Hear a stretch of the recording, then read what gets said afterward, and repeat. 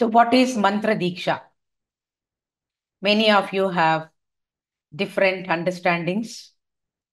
Some of them could be misunderstandings, or some confusion, or right understanding.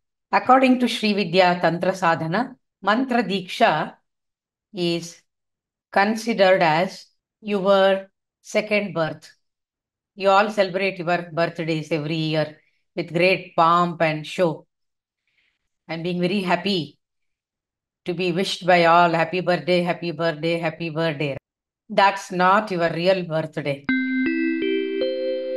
Now that you are sitting in front of me, this is your second birthday.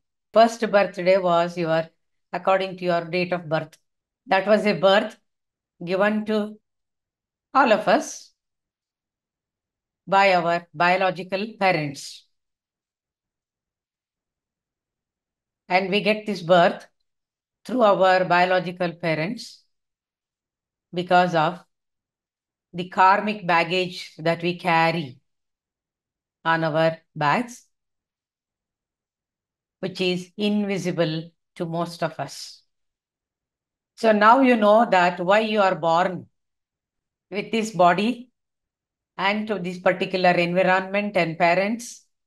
And why are you living with particular people around you? The company of which keeps changing as per the phase of your life?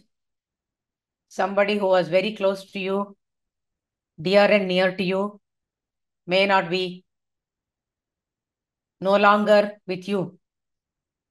And new people have joined your life so your journey you should understand that it's like a train journey depending on the station to which you have taken your tickets. So the ticket collector, TC, will make sure that you get onto the train and get down the train right in the right railway stations. You cannot extend your journey as per your wish, but you have to confine your journey to the wish of the ticket that you have bought in your past lives. Do you understand me what I am trying to say? It's something very serious. And it's nothing about me, it's about you all, each one of you. So this ticket is very important. The train ticket, which you have bought. Once you buy, you cannot say that, no, no, no, I wanted to buy to that other station, but by mistake, I have taken the ticket for this station. Will the ticket collector listen to you? He will say, no, sir, no, madam. You have to, you cannot even transfer it to somebody else, this ticket. It is non-transferable.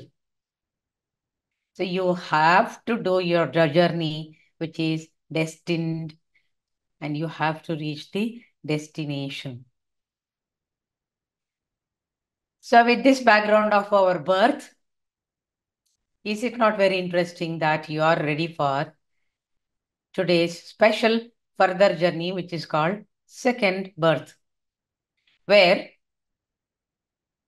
listen to me carefully, where you are eligible to choose your ticket, where you are become eligible to change your destination, become eligible to get down wherever you want to get down and not forced by the TC of your train journey.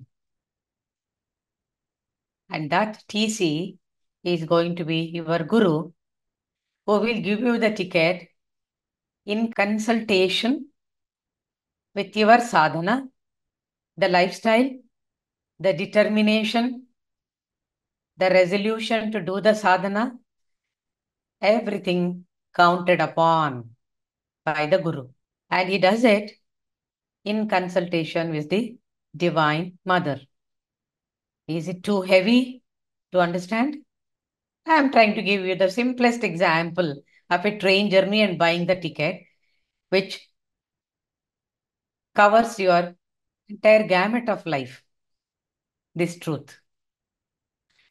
So Mantra Diksha is a second birth, or it is also called rebirth, where this mantra leads you through a, a wonderful self-transformation journey. So Mantra Diksha is nothing but your self-transformation journey.